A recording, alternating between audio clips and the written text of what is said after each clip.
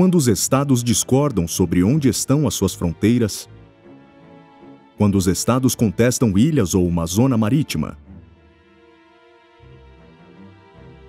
quando um estado alega que outro estado violou um tratado ou uma outra regra de direito internacional, e quando a ONU ou uma de suas organizações especializadas necessitam de um parecer sobre uma questão jurídica, podem recorrer à Corte Internacional de Justiça.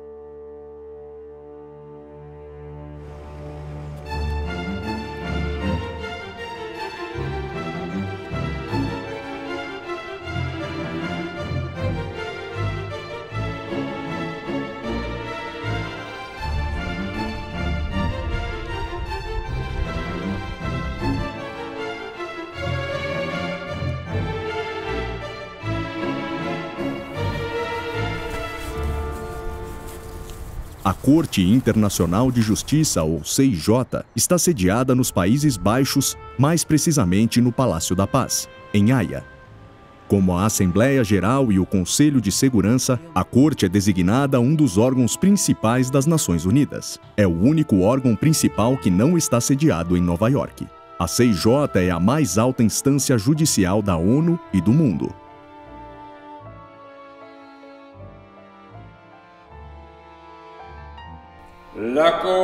A corte existe desde 1946. As suas duas línguas oficiais são o francês e o inglês.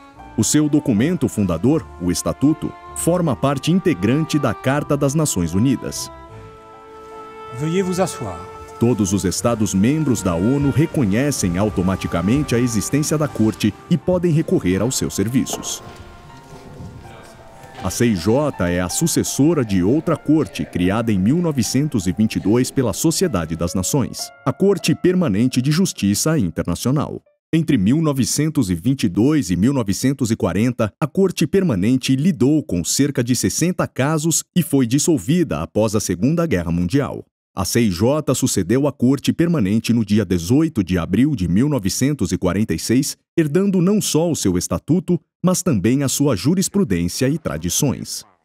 Que j'exercerai tous mes devoirs et attributions de juge en tout honneur et dévouement, en pleine et parfaite impartialité et en toute conscience.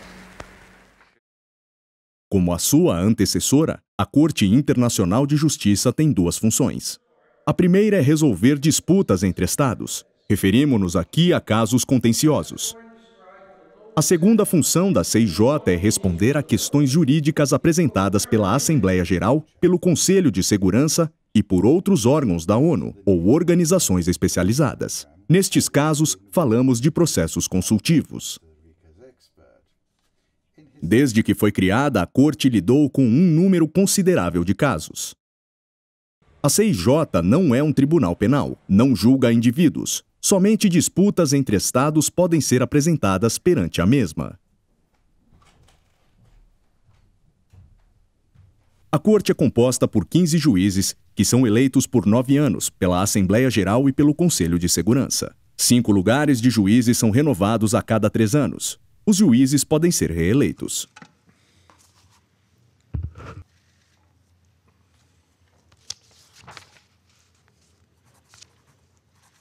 Mr. Mohammed Benuna, Mr.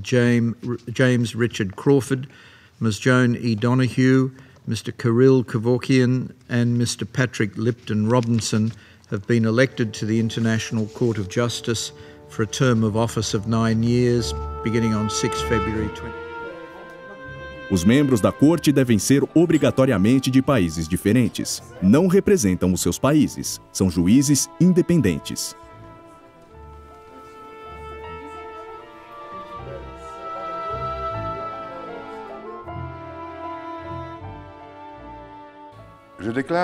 Declaro solenemente que cumprirei os meus deveres e exercerei os meus poderes como juiz de forma honrada, fiel, imparcial e conscienciosa.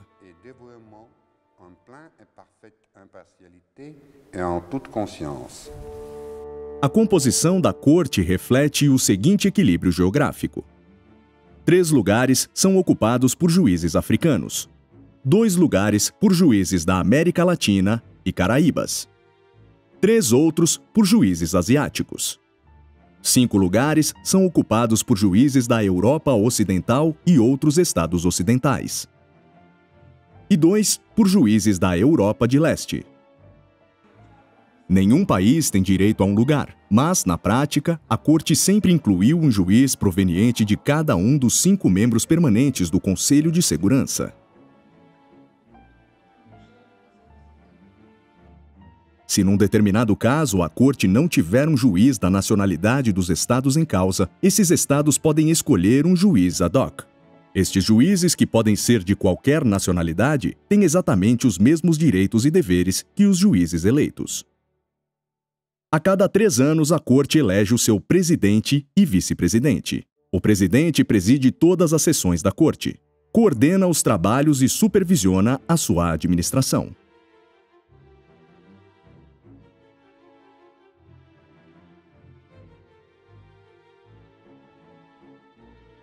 A cada ano, o presidente apresenta um relatório sobre as atividades da CIJ à Assembleia Geral em Nova York. De l'intérêt que votre assemblée manifeste pour la Cour et du soutien qu'elle lui apporte.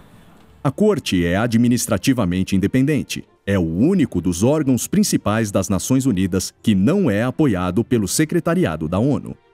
Os juízes são assistidos por um escrivão, eleito pela Corte para um mandato renovável de sete anos. Ele é o chefe do secretariado da corte, a sua secretaria, composto por funcionários recrutados em todo o mundo.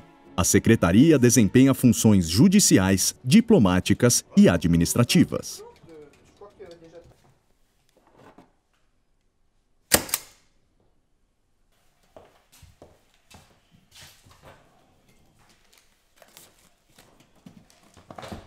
A principal função da Corte é julgar disputas jurídicas entre Estados. Estes casos contenciosos representam 80% das suas atividades. No passado, os casos contenciosos envolviam frequentemente questões relacionadas com disputas fronteiriças, delimitações marítimas e proteção diplomática. Contudo, os casos estão cada vez mais relacionados com assuntos como, por exemplo, direito humanitário, direito ambiental, o uso de força armada e a responsabilidade dos Estados. A jurisdição da Corte é geral, pode tratar de qualquer problema de direito internacional. O processo contencioso está aberto a todos os Estados membros da ONU. Os Estados que não são membros podem também ter acesso à Corte sob certas condições. A competência da Corte é, nesse sentido, universal. Desde 1946, um grande número de estados tem comparecido perante a CIJ no âmbito de casos contenciosos. Os estados são soberanos. São livres de escolher a forma de resolver suas disputas. A Corte não pode, portanto, lidar com um caso se os estados interessados não tiverem acordado livremente em trazer a disputa perante a mesma. Na maioria das vezes, os estados comparecem perante a corte em virtude da aplicação de um tratado internacional. Uma vez acionada a corte, o processo decorre em duas fases. Primeiramente, os estados apresentam os seus argumentos, provas e conclusões por escrito. Em seguida, os seus representantes e advogados apresentam os seus argumentos oralmente perante a corte durante as audiências. Costa Rica requests the court to dismiss all Nicaragua's claims in this proceeding. Nicaragua requests from the court to A. Dismiss and reject the requests and submissions of the Republic of Costa Rica.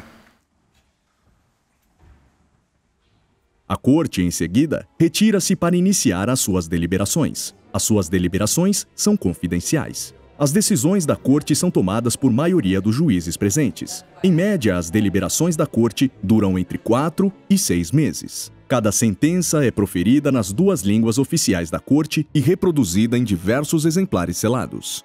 Uma cópia é fornecida a cada um dos estados envolvidos. As sentenças são lidas em audiência pública. Terminam com um dispositivo, uma conclusão na qual a Corte enuncia sua decisão sobre cada um dos pontos em disputa. For these reasons, the Court, 1. By 14 votes to 2, rejects the preliminary objection raised by the Par ces motifs, la Cour 1. Par 14 voix contre 2, rejette l'exception préliminaire soulevée par la République. Tous les arrêts de la Cour Todas as sentenças da Corte são definitivas e inapeláveis. Cumpre destacar que os estados envolvidos, ao comparecer livremente perante a Corte, assumem ao mesmo tempo o compromisso de respeitar as suas decisões, as quais são integralmente obrigatórias para as partes. Quase todas as sentenças da Corte foram implementadas. Se um Estado deixar de cumprir as obrigações que lhe incumbem em virtude de sentença proferida pela Corte, a outra parte terá o direito de recorrer ao Conselho de Segurança, o qual, nos termos do artigo 94 da Carta das Nações Unidas, poderá fazer recomendações ou decidir sobre medidas a serem tomadas para o cumprimento da sentença. Contudo, é extremamente raro tal acontecer, dada a importante autoridade jurídica, moral e diplomática de que se revestem as decisões da Corte. A segunda função da Corte é responder a questões jurídicas apresentadas por determinados organismos da ONU e certas organizações especializadas do sistema. Este procedimento culmina em pareceres consultivos. Desde 1946, a Corte emitiu vários pareceres sobre questões que, por vezes, atraíram grande atenção da imprensa. A maioria desses pareceres foi solicitada pela Assembleia Geral. O parecer consultivo emitido pela Corte em 2004 sobre as consequências jurídicas da construção do muro nos territórios palestinos ocupados foi um dos mais importantes da sua história. Estados do mundo inteiro foram convidados a participar no processo, o qual durou apenas sete meses.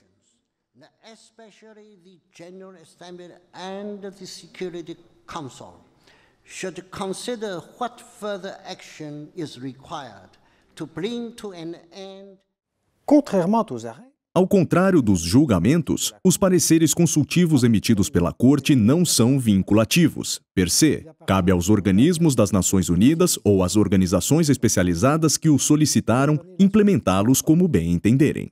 Em todo caso, a opinião da Corte é dotada de grande importância graças à sua autoridade jurídica e moral. Além disso, a consideração que é dada aos pareceres consultivos da Corte pelos Estados e organizações internacionais na sua prática jurídica contribui para o desenvolvimento do direito internacional.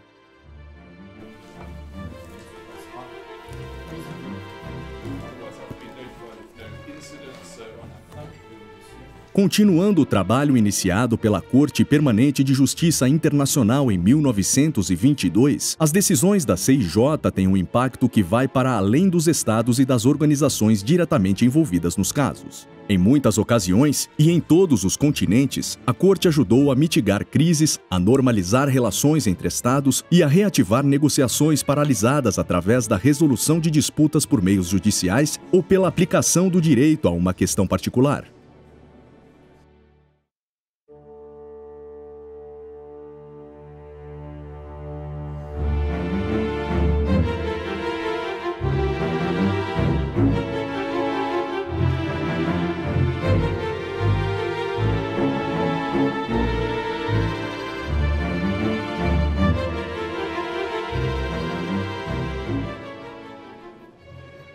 Como principal órgão judicial da ONU, a Corte é uma peça importante no mecanismo internacional para a promoção e manutenção da paz. Nessa capacidade, a Corte recebe com regularidade visitas de chefes de Estado e de personalidades importantes.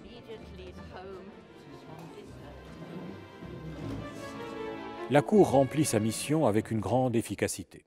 A Corte cumpre com a sua missão com grande eficiência. Pode indicar uma medida provisória em poucos dias ou semanas, emitir um parecer consultivo em poucos meses e decidir, em menos de cinco anos, a grande maioria dos complexos casos contenciosos que lhe são submetidos. O orçamento da Corte representa menos de 1% do orçamento regular das Nações Unidas. A Corte é uma instituição judicial única no mundo. Através dos seus julgamentos, pareceres e medidas provisórias, apoia as Nações Unidas na concretização dos seus principais objetivos, que são a manutenção e consolidação da paz e da segurança internacional. Naturalmente, a Corte não pode por si só evitar que os Estados recorram à força. Porém, reconhecida por todos os membros das Nações Unidas, está agora mais do que nunca à disposição dos mesmos como um instrumento inestimável de promoção da paz.